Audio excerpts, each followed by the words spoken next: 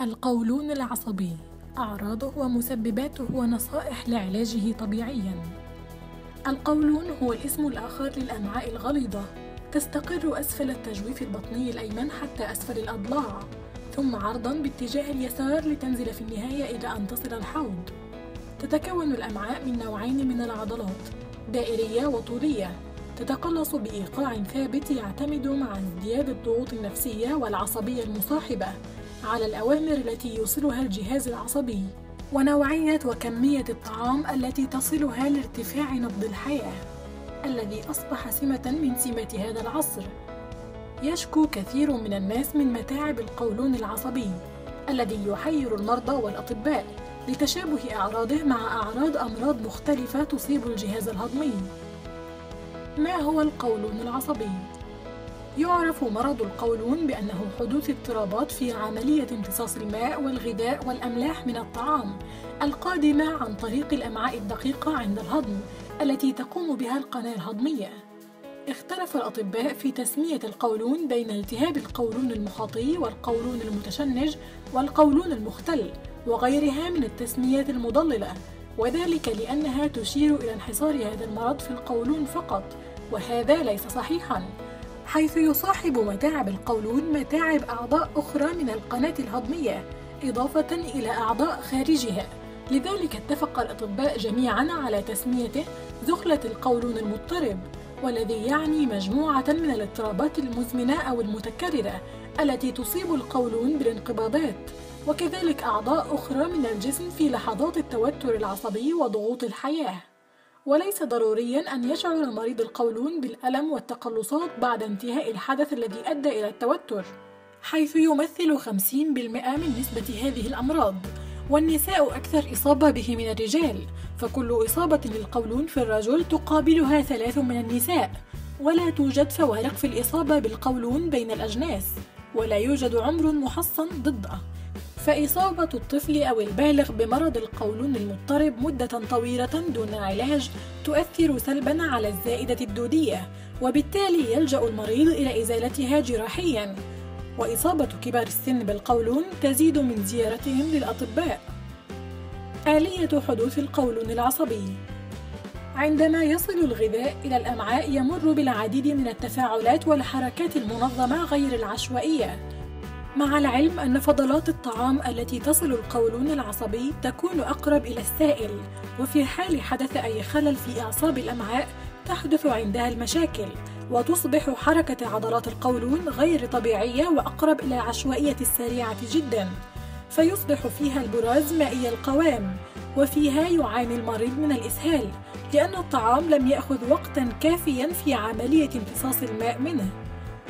أما إذا كانت حركة العضلات بطيئة جدا ويكون عندها البراز صلبا فيعاني المريض من الإمساك لأن الطعام بقي وقتا طويلا في القولون فيمتص الماء فوق المعدل الطبيعي. أسباب الإصابة بالقولون العصبي. تتعدد أسباب الإصابة بالقولون منها ما هو معروف ومنها ما زال الطب يسعى للتوصل إليه لكن أهم هذه الأسباب هي العدوى الفيروسية. قد يصاب الجهاز الهضمي ببعض الفيروسات التي يتم القضاء عليها لكن أعراضها تبقى مدة أطول فتؤثر على القولون وتقلصات عضلاته الطبيعية وهذه الحالة تشكل 25% من حالات الإصابة بالقولون العصبي. التوتر وعدم الاستقرار العاطفي فتسميته بالقولون العصبي يوضح أن هذا المرض يعتمد بشكل أساسي على الحالة النفسية التي يمر بها المريض ولذلك يجب الانتباه لكل ما يؤثر سلبا على نفسيته وما هي الحالات الشعورية التي تزيد عندها الألم. ثقل في بعض التركيبات الغذائية. قد يكون اللاكتوز الطبيعي الموجود في اللبن ومشتقاته يتعب القولون فيسبب خللا في حركات عضلاته كما هو الحال أيضا في الفركتوز الموجود في العصائر. الأدوية. قد يسبب الاستخدام الطويل لبعض الأدوية الإسهال أو الإمساك كالمضادات الحيوية ومنعات الحموضة والمسكنات. النظام الغذائي غير المتوازن. الكثير من الأغذية تسبب تهيجا في القولون.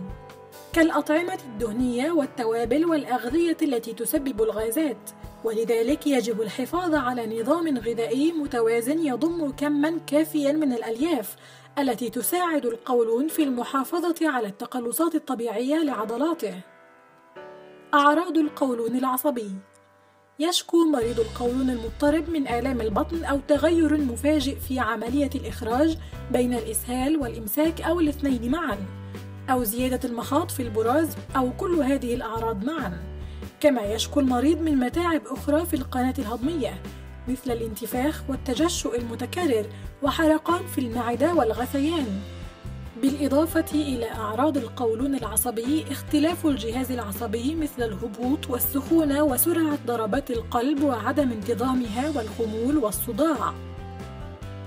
تشخيص القولون العصبي إن القولون العصبي بارع في الاختباء إذ يمكنه أن يعطي أعراض الدوسنتاريا المزمنة أو التهاب القولون التقريحي أو مرض كرونز بسبب وجود جيوب في القولون أو التهاب الزائدة الدودية أو التهاب المرارة أو قرحة الاثني عشر والمعدة أو تضخم الكبد والطحال وآلام الكليتين واضطرابات القلب والتنفس ولذلك تختلف الشكوى من مريض لآخر. وأهم عناصر العلاج طمأنة مريض القولون العصبي أنه ليس مصابا بمرض خطير مع أهمية اعتماده على الأغذية الغنية واستخدام بعض المهدئات الخفيفة حيث إن هناك أنواع من الطعام تثير القولون العصبي وتجعله عرضة للإصابة بآلام حادة مثل البقوليات والتوابل والدهون والمشروبات الغازية كما أن التدخين يسبب أحيانا تهيجا في القولون. علاج القولون العصبي.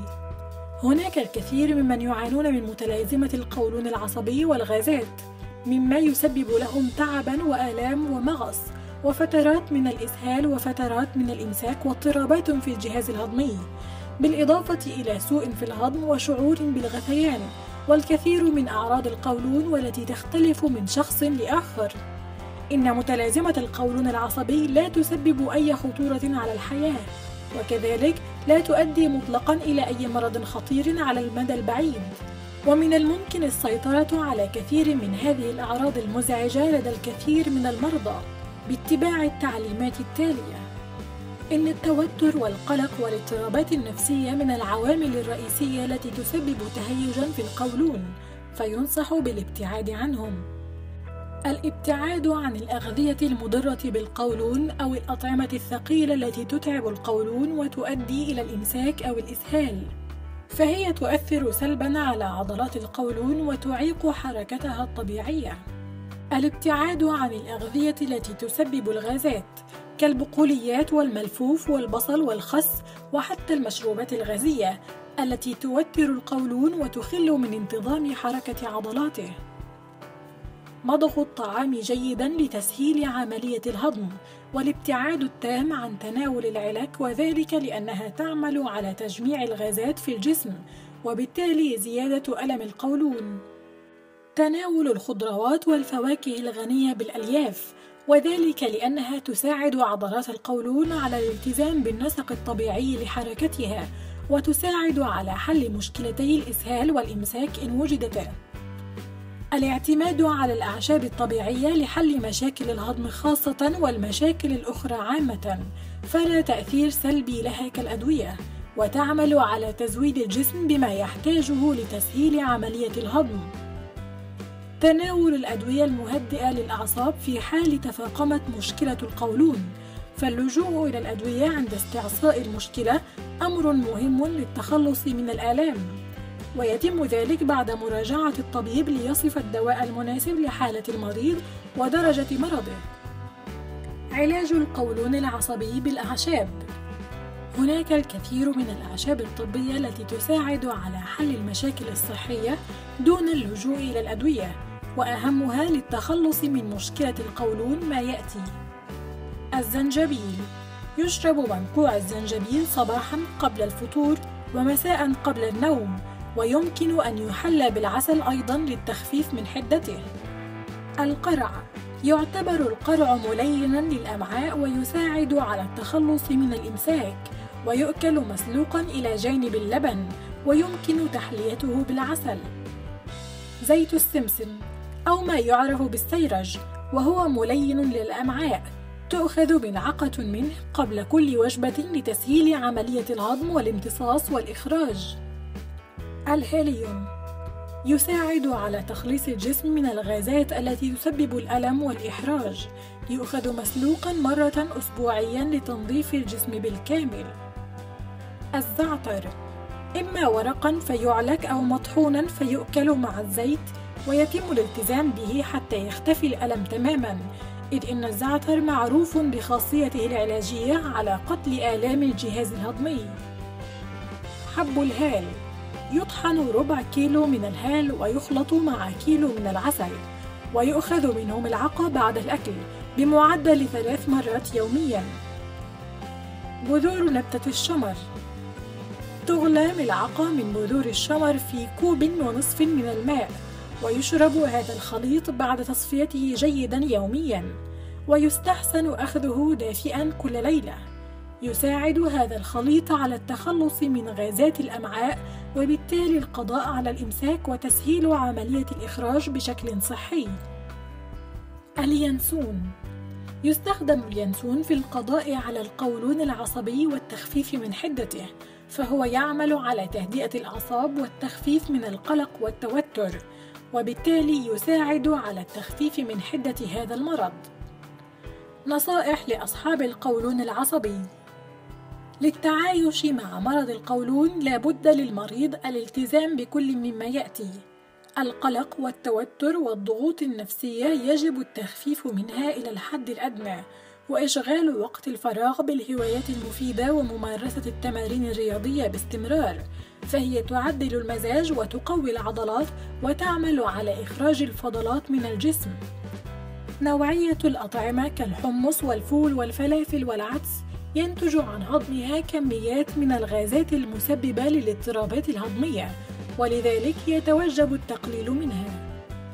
التقليل من مضغ العلكة التي تساعد على ابتلاع كمية كبيرة من الغازات أثناء عملية المضغ. المشروبات الغازية بأنواعها المختلفة حيث إنها تحتوي على كميات من غاز ثاني أكسيد الكربون مما يؤدي إلى انتفاخ في منطقة البطن واضطرابات في الجهاز الهضمي والاعتماد على شرب ثمانية أكواب من السوائل يوميا على الأقل. أهمها الماء ثم المشروبات العشبية. فالأعشاب الساخنة لها فوائد نفسية جسدية خصوصا للجهاز الهضمي. مضغ الطعام بشكل جيد وعدم الإسراع في البلع. تجنب الوجبات السريعة والوجبات الدسمة والوجبات التي تحتوي على كميات كبيرة من البهارات والفلفل الحار.